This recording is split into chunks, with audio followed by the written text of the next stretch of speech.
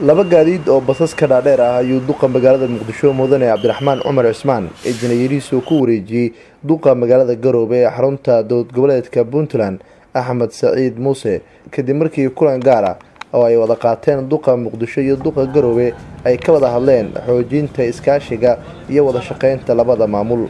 Kulanka mas'uuliyiintani waxaa goobjoog ka ahaa wasiirka beeraha ee xukuumadda federaalk soomaaliya iyo xildhibaan cali yuusuf xoosh oo ka mid ah golaha shacabka soomaaliya.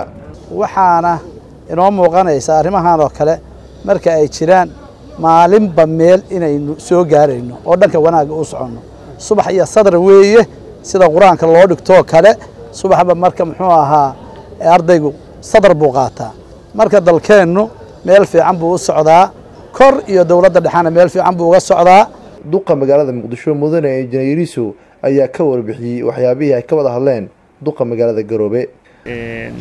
Kulamadii aan yeelanayna waxay ahayn kuwa runtii aad iyo aad muhiim u ah.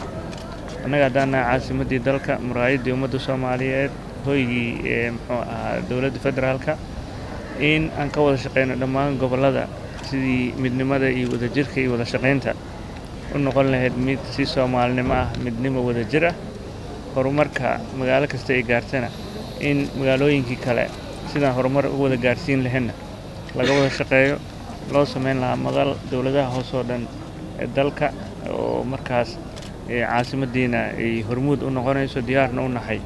Inaan ku hogaaminno kala shaqayno runtii aad iyo aad baan uga mahad celinaya axmed barre kulamadii dhiirigelinta iyo wada shaqaynta waxaa kaloo iyadana mahad leh xildhibaanada sharafta leh iyo wasiirkeenna sharafta leh ee beeraha oo ayagana runtii maanta goobjoog nooga ah kulamadii baryaha noo socday oo soo gabagabaynayno isla markaana aan rabno inaan maanta duqa magaalada garoowe aan ku wareejinno furayaashii labo bas basaskan casriga aad u jeedaan oo aan leenahay bal naga gaarsiiye shacabkii magaaladii garoowe intaan ka badanna inaan istarno ka wada shaqaynana waa ku ballannay duqa magaalada garoobe axmed saciid muuse ayaa u mahad celiyey gudoomiyaha gobolka banaadir ahna duqa magaalada muqdisho.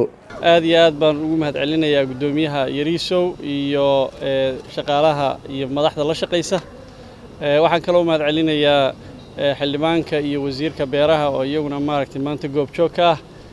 Saxaafadda iyo martisharafta kale aad baa u mahadsantihiin farxad weyn bay ii tahay inaan maanta joogo caasimaddii soomaaliya aan joogo xarunteedii waxaan aad ugu mahad celinayaa wadahadalka wanaagsan iyo wadatashiga iyo waxwadaqabadka aan kala kulmay iyo soo dhoweynta maamulka gobolka banaadir. Aad iyo aad baa u mahadsantihiin. Waxaan maanta la wareegay labadan gaari. Waxaana ku ballannay inaan wada shaqayn intaa ka tiro badan sii yeelanno. Nuur saciid taaliil warbaahinta qaranka soomaaliyeed magaalada muqdisho